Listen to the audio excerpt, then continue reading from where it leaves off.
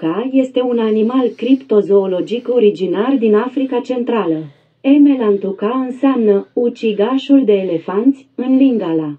În alte limbi, animalul este cunoscut sub numele de ase camoche, Niagogunda, Ngambanamae, Chipecu sau Irizima. Se spune că Emelantuca este de mărimea unui elefant de pădure, de culoare gri-maroniu și cu o coadă lungă și grea. În plus, ar trebui să aibă figura unui rinocer și un corn lung pe nas. Cadrul lui mare necesită probabil picioare musculoase. Animalul ar avea și creste de-a lungul gâtului.